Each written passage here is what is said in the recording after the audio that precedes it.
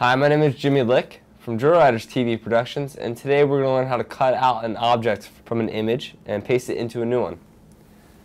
First thing you want to do is go up to File and import your image in. Go to Open. Now there's many ways to do this, but the way that's quickest for me is Quick Selection Tool.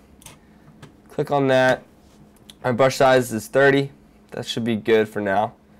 And basically you want to select everything on the outside of the person that you want to keep.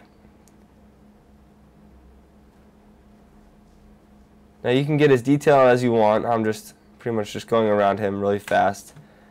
Um, you can see that my arm didn't get captured, so I'll hold down the Alt tool and I will make sure that the arm gets in there. And cigarette and then right click, select inverse, and now that is just selecting him. Right click again, go layer via copy, and now you can see when we take out the background that we just have him. Now if I want to put this into a new image, what I'll do is I will right click on that layer and I will du duplicate it into a new image. So go up to duplicate layer and see where it says document. I want to duplicate into a new document. So I'll click New, press OK.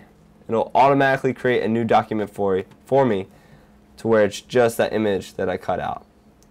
That's pretty much it. The last thing you want to do is go up to File, Save As, and Save as a new document.